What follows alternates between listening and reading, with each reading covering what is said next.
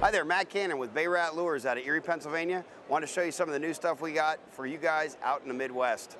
What we have here is our short deep series. We have a variety of color patterns that I think you'll find exceptionally attractive for all the walleyes out there. We devised these baits originally so we could fish for walleyes on Lake Erie. Uh, some of the more popular ones you will see. Uh, we got a fire tiger that I think is pretty attractive bait. This one's been particularly good for me so far this year. We call it our rave. Uh, your old standby, our black mamba. Uh, and then we have our sweet lips, which has been a real hot bait, as well as uh, Lake Erie, as well as Lake Ontario this spring.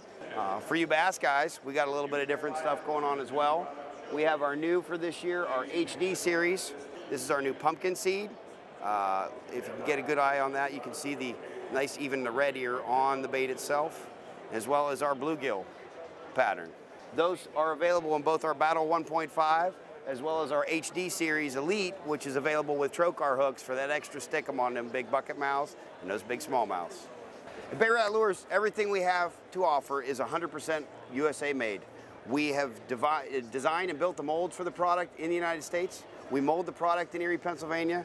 We assemble the product in Erie, Pennsylvania. We paint it in Erie, Pennsylvania. And all our packaging, all our terminal tackle on all of our products is 100% American made.